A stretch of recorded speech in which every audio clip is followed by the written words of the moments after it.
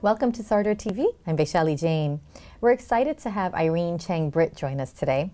Irene is an independent board director for several organizations, including Terravia, Tailored Brands, and Dunkin' Brands.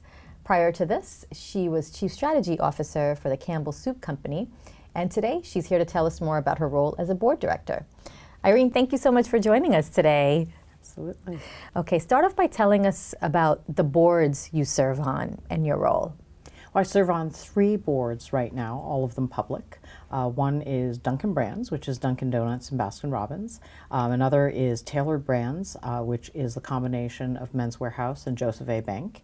Um, another one is a very cool microalgae based um, protein scale up um, out of um, Silicon Valley, which is called Terravia. And prior to this, I had served on the board of Sunoco. Mm-hmm. And what is your role on these boards?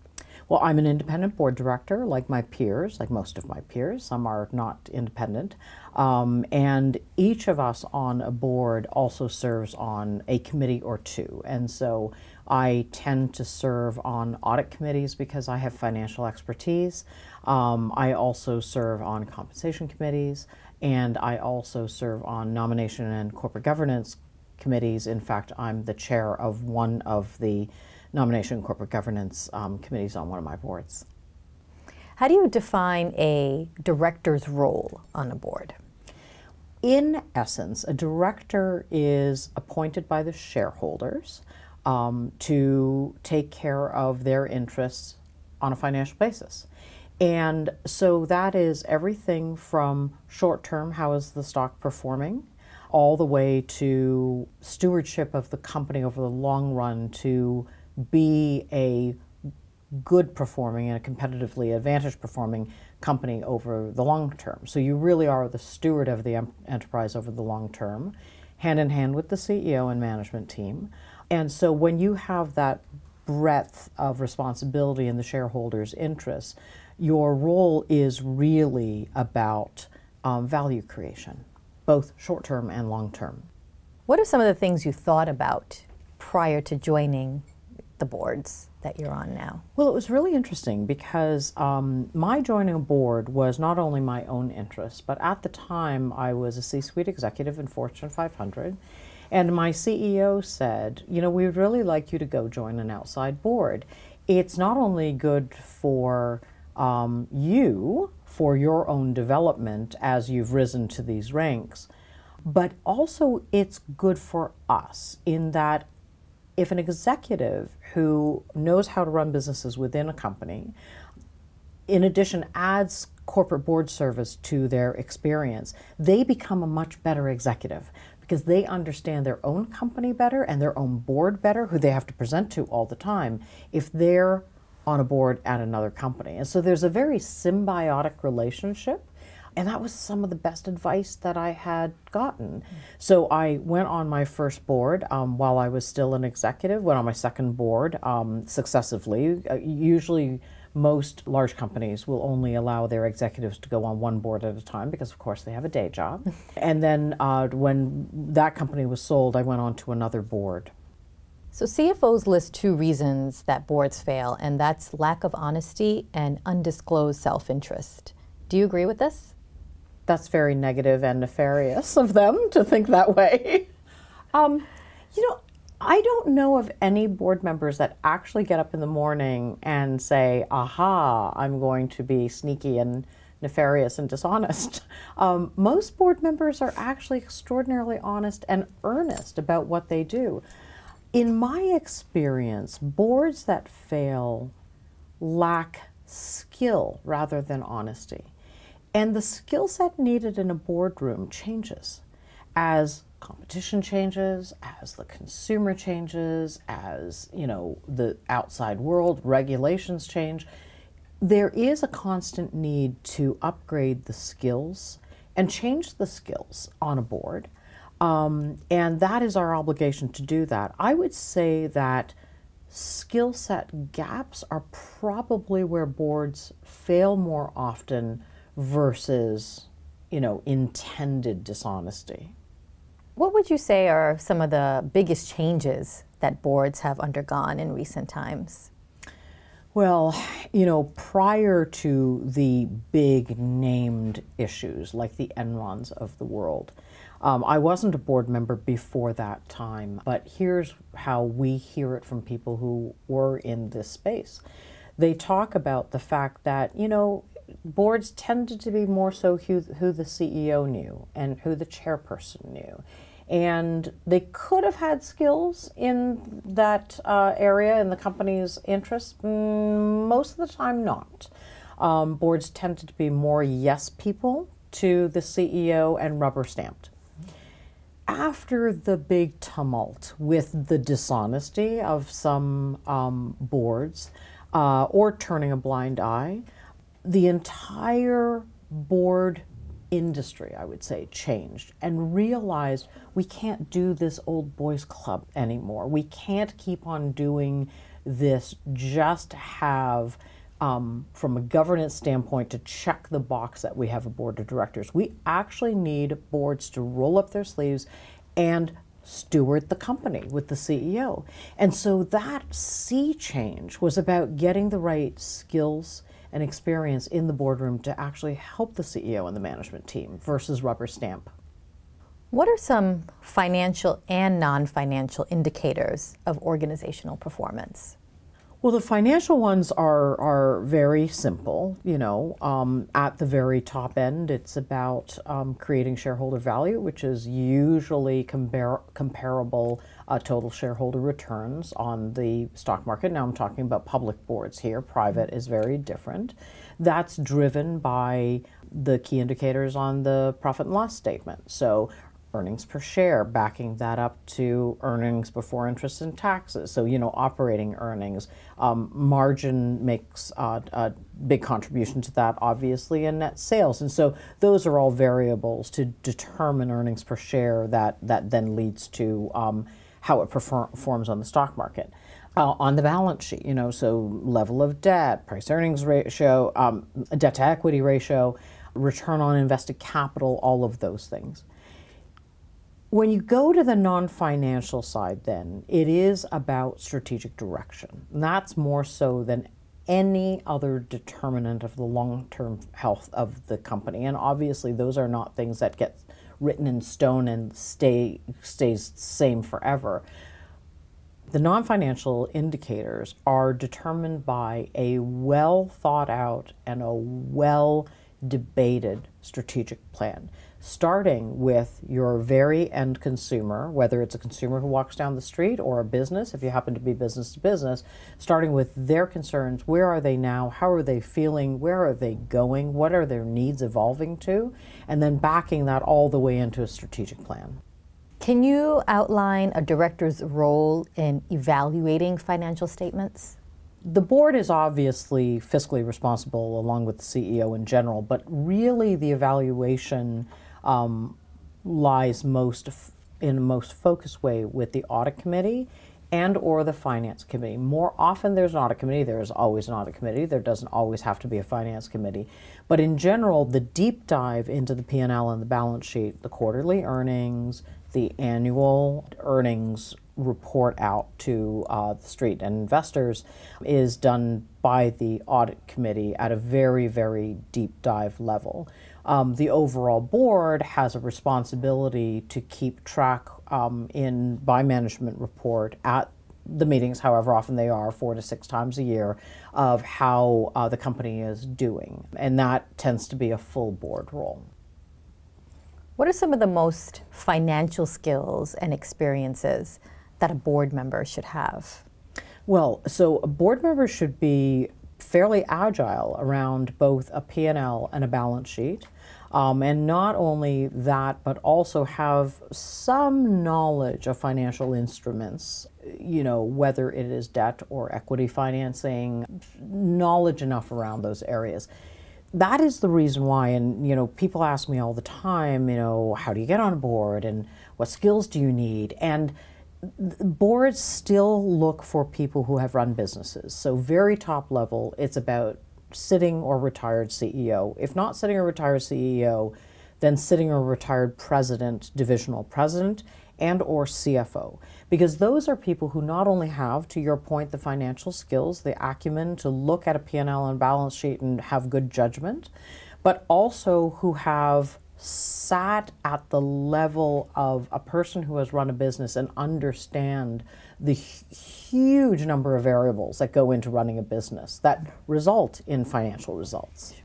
What is the director's role in meeting compliance obligations for the well, organization? Compliance is a huge topic these days. Enterprise risk management is one of the most topical um, areas of concern now.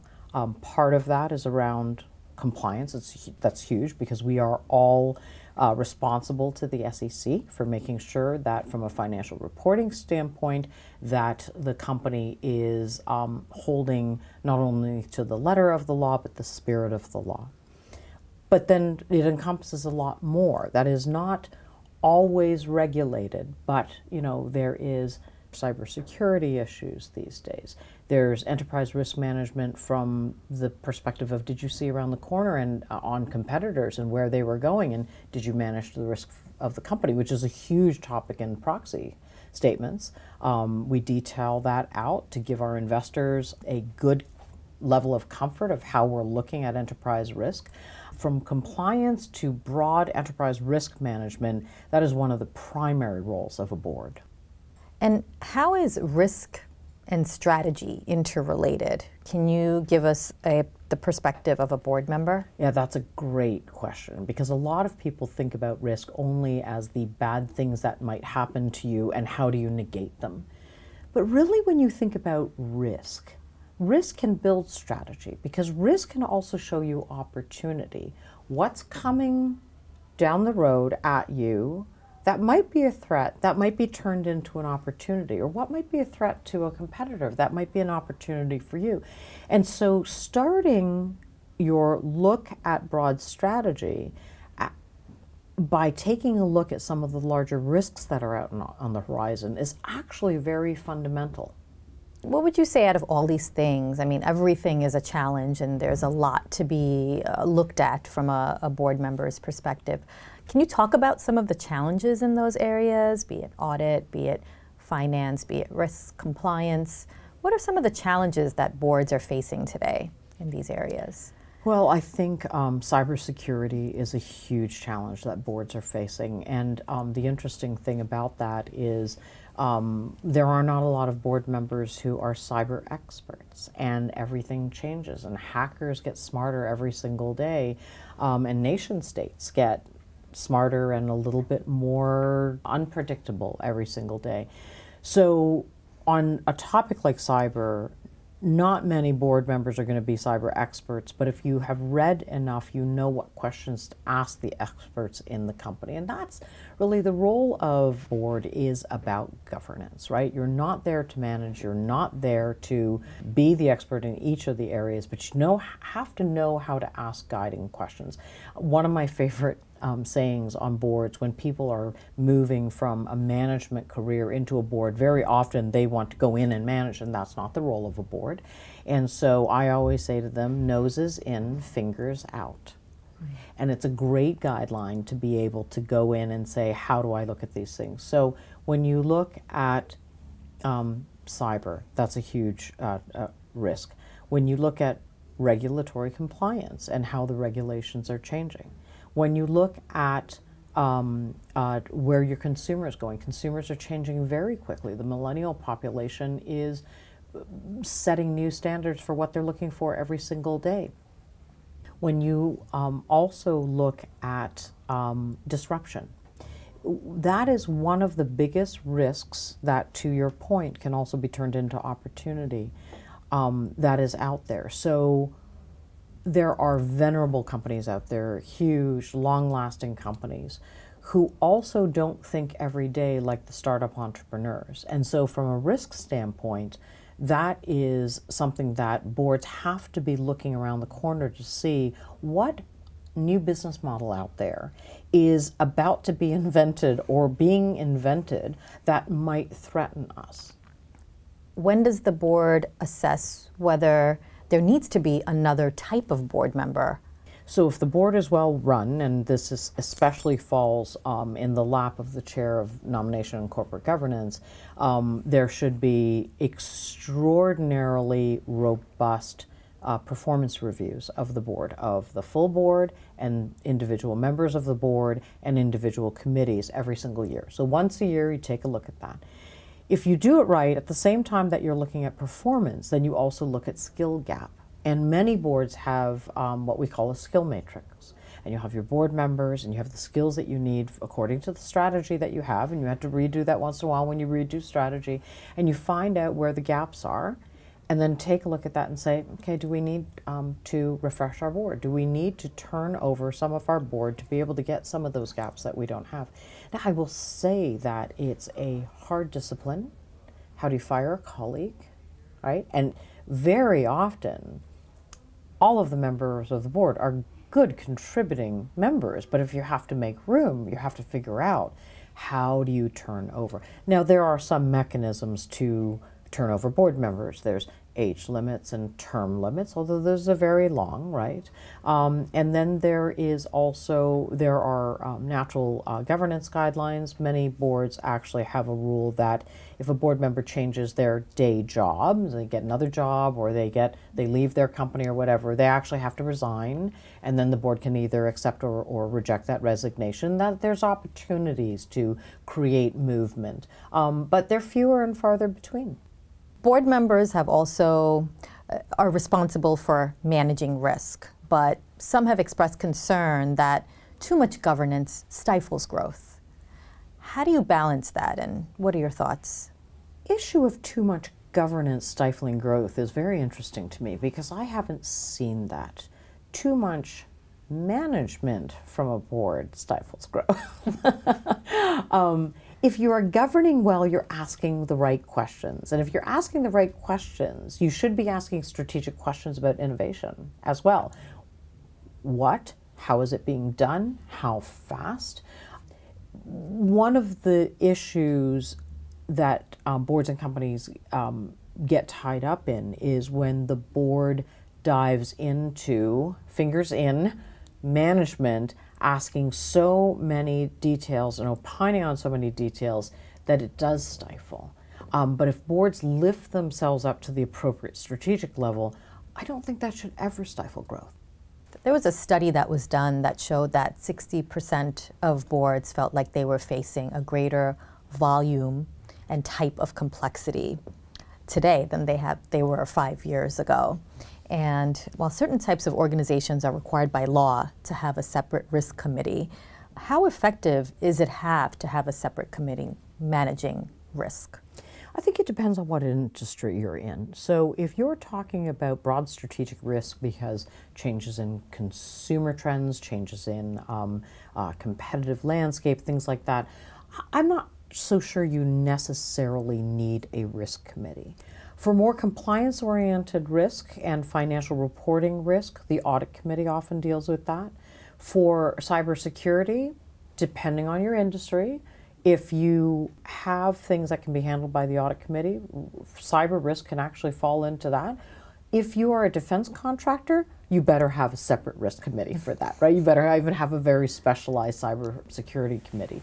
So it really depends on your industry and your level of risk, and that is always decisionable. Um, boards can choose to break off into another committee, combine certain committees, except for the basic three, but those things are um, fungible over time. Does organizational culture have an impact on risk ap appetite and tolerance? Yes, organizational culture certainly does. Um, the tone is set at the top. Um, it's set at the top with the CEO. It is also set at the top with the board.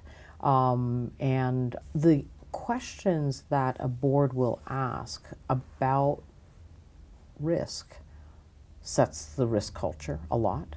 The amount of time and energy spent on risk by the CEO with the board will also set the tone for the rest of the organization the bulk of the organization doesn't see the board on a regular basis, right? So the C-suite will present, and once in a while, other things will, other meetings will include various levels, but not so often. And so it really is the feedback from the board after a board meeting that the CEO then and his C-suite, his or her C-suite cascades down, is really what interacts with that organizational culture that you talk about. What would you say are some of the factors that determine the risk appetite of a board then? You know, risk appetite of a board is determined very much uh, by the evolution of the company. You know, is it a long term blue chip, cash rich business model? Is it something that might be disrupted in a second, um, like Uber disrupted the taxi industry, right?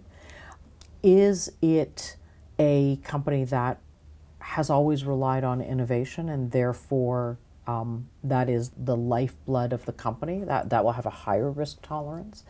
I find the more long-term cash flow rich companies tend to be more risk averse they don't want to disturb that. That's what their share price is based on. In this age of disruption that can be a very dangerous mentality to have so it's been common practice by public companies to have risk oversight handled by the audit committee. Yes. Right? What are some of the pros and cons of this? Audit committee members are usually very financially savvy. That's why they're on there. So there's CFOs and CPAs and uh, people who have run companies or divisions. So that profile of executive has a good viewpoint of risk. They've handled a lot of risk in their executive lives. Um, so it's an appropriate place. It's also a place where you deep dive into the financials um, of a company.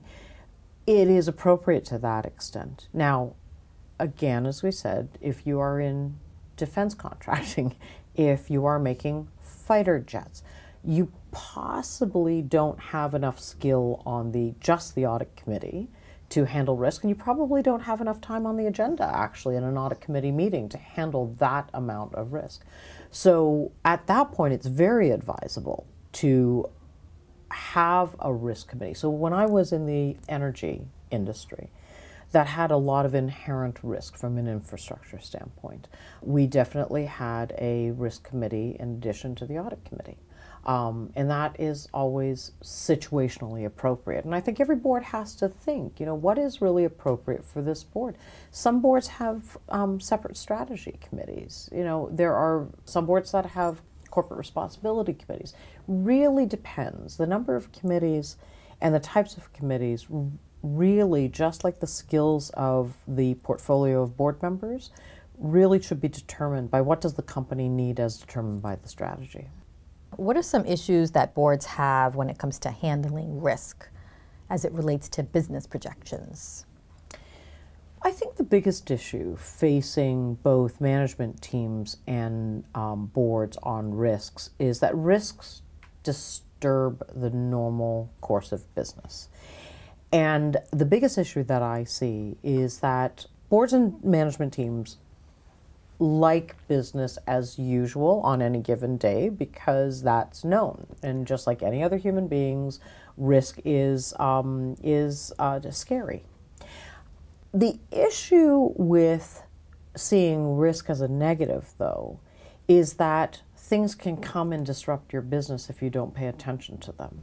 And so, from a handling of risk standpoint, I always advocate that the board and senior management spend a good amount of time, as uncomfortable as it is, spend a good amount of time on that fairly negative issue of what might go wrong, because that can lead to both defense, a good defense, but it can also lead to a really great offensive strategy as to how do you become agile to get around that and maybe find other sources of business. But it is against human nature to look at the negative. And that's why you have to be very, very disciplined as a board to really look at what are our weaknesses, where are we at risk, where are the holes in our strategy, where are, where are the holes in our defense mechanisms. You know, we've seen several organizations mired in scandal over the years Enron and Volkswagen and Wells Fargo. Can you talk a little bit more about what happens when boards fail? Yeah, I think, especially in those cases, the board was not looking for the right things, not only not looking at the right things. It's a difficult situation when you're in the board room because you are the recipient of what management chooses to show you. And if management doesn't choose to show you the things that are a little squirrely, then you don't actually know because you don't live with that company every day. You live with that company four, maybe six times a year. So unless you get shown it proactively by management, or you know enough to ask what skeletons are hidden in the closet, you may not see some of those things. Is it a failure of oversight to not have seen it if management never shows you? If it's an obvious issue, then yes, it's a failure of oversight. If you never get to see it because you're blinded by it, by the management team, that's a really tough call. Now, I have heard in a given situation that the customer service um, levels of dissatisfaction. So the customer dissatisfaction was actually very well known, and it was in one of the reports that the board saw. So was that a failure of um, governance to not have asked about that issue? Absolutely. The reason why board directors should be seasoned executives is that you really have to be a bit of a detective. In the nicest, most supportive way, ask some of the tougher questions, ask about things that are not going right, and coax that out. Because a management team, as honest as a management team can get, the board is still their boss. They still want to please their boss, like many people want to please their bosses. They are going to show, all other things being equal, the positive side of things, right? That is human nature, that is organizational nature. So the board has an obligation to dig a little bit deeper and sometimes to ask the uncomfortable questions that management didn't think to show the answers to. Maybe let's be um, nice about it and not say, say that they were hiding anything, but at least they might not have thought of bringing up the negative. What should a board look for in executive reports? I think every every company does executive reports differently. I mean, the the from an audit committee standpoint, it's fairly standard, um, you know, to take a look at the, the quarterly earnings and the financial statements that support that. But from executive reports, the biggest thing for the board to be skilled at is understanding what drives financial success, both short term and long term in the company. And are those metrics being reported by the management team? And if there are metrics, um, or even softer, more qualitative variables that need to be looked at for the long term success of a company, boards should be asking for those things. Tell us what role the board plays in overseeing business sustainability and oversight. So that's critical to the board role. If we're working for the shareholders over the long run and over the short run, but primarily over the long run, our role is stewardship of that company for the sustainable future. And that is really guided by how deeply does the board understand the strategy? Was it involved in the strategy? And that's a pretty controversial thing that I'll get back to. Um, and has really taken that strategy to task and really questioned it and tested it for its value in creating value over time. There's a lot of debate about a board's role in strategy, and a lot of people say, well, that's management's role. But really, if you think about your role as company steward over time, you have to be involved in strategy. You're not going to do the strategy, but you have to be hand in hand with the company's management in understanding and questioning the aspects of the strategy that get built over time to make sure that it is, it is robust and tested. What are some common mistakes that board members make with capital and resource allocation? And how could this be avoided? I think fundamentally, if you don't have a strategy that is founded on the value of strategic initiatives that are the alternatives that can be looked at for the ultimate fulfillment of the vision, then you don't have a basis on which to understand the best use of capital in each of those strategic initiatives. So sometimes people think of strategy as very conceptual. Strategy actually isn't conceptual. Strategy is based on fundamental analysis of the company, how it is doing, what lines of business are doing well, doing poorly, what are the prospects for that line of business over time, and projecting that out and projecting the risk and return of strategic initiatives, even though those projections are not 100% perfect, at least they're directional, gives you a much better quantitative analysis on which to base decisions of capital allocation. Give us a breakdown of how you spend your time on various board activities. Well, the basic thing is when the board book gets, um, which is uh, often digital these days, we still call it a board book, gets sent out, the several hundred pages that it usually is, usually comprising an update on how the performance is going, an update on strategic initiatives, any myriad of issues that you have to deal with.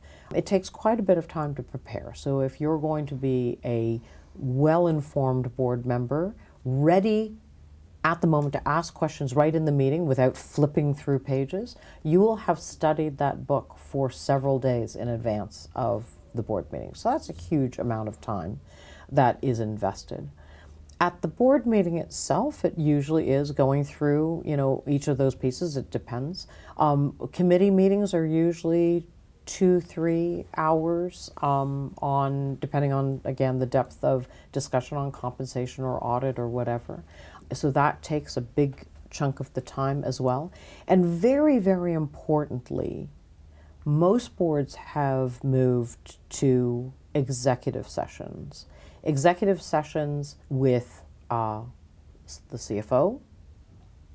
Audit committees often do that, CFO without the CEO in the room, to see if there's anything that needs to be said without the pressure of hierarchy, which is a very good practice. Um, many of my audit committees, actually, we meet with the internal um, auditor who actually reports right to the um, audit committee. We spend time in executive session with the CEO. We spend time then, at the end, best practice is to have the independent board directors only, i.e., not including the CEO in the room, um, or any um, non independent chairs or vice chairs or whatever.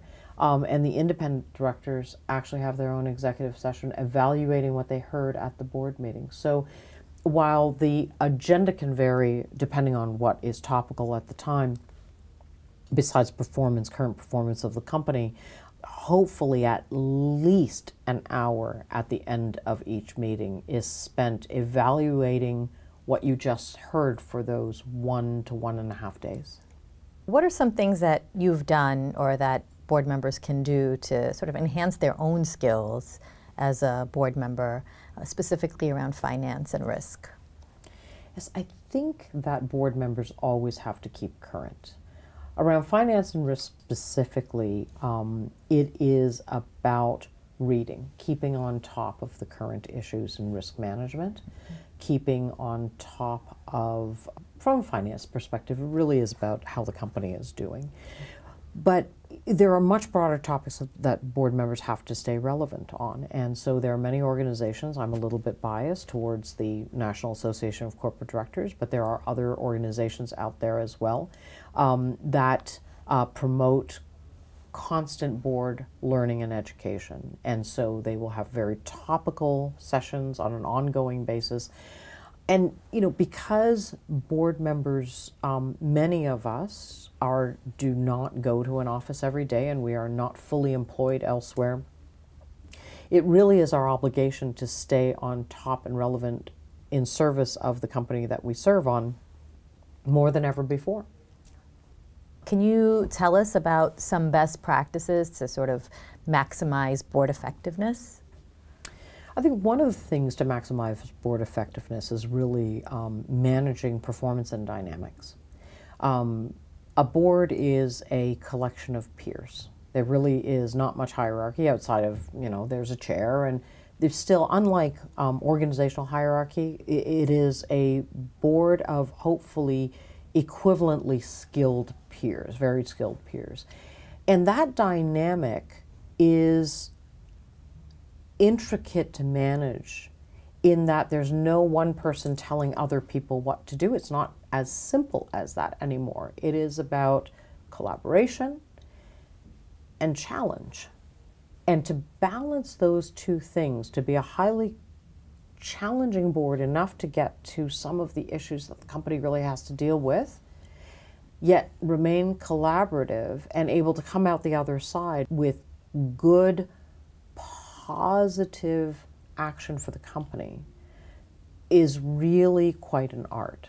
And so I would say managing the board dynamics is the most effective way of ensuring board effectiveness.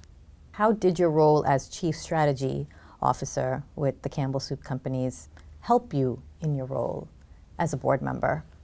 That's a really interesting question. You know, so I have spent my entire career running businesses, and um, that skill of running businesses, P&L, balance sheet, all functions, large organizations, dispersed labor force, all of that really I thought was the best training to be on a board because you know you see the full venue. And then when I became chief strategy officer, I had to think enterprise wide and global. And equally about all functions versus vertical business units. So while vertical business units are a good proxy for an entire company, really seeing across the company and dealing with the board of the company I was employed by was really icing on the cake in terms of honing my skills as an executive. Can you tell us the process you actually had to go through to become a board member? Yes, it's a long and sometimes hidden process to become a board member. So, the first thing I tell people, and I mentor quite a few people to um, try to get onto boards, is that if you're a sitting executive, you want to make sure that your company, and especially your CEO, actually advocates for you being on a board. That is the good housekeeping seal of approval for an executive. If the CEO gets out into the marketplace and says, I love Vaishali, she's an amazing executive and you should have her on the board, that is just golden.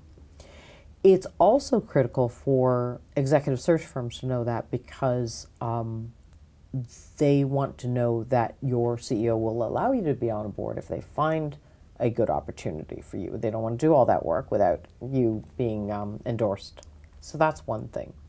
You have to be out there and network. Um, and it's not just networking in board settings. I actually met the CEO of the company that I first went onto the board of, Sunoco, which 43, which was, we had sold it, um, later on, but um, a $43 billion company at Fortune Most Powerful Women. We were at the conference together. We got together. We talked about a couple things. We got to know each other. An opportunity came up, and she thought, mm, I need your skills. So, networking in professional circles, not just in board circles, really, really helps.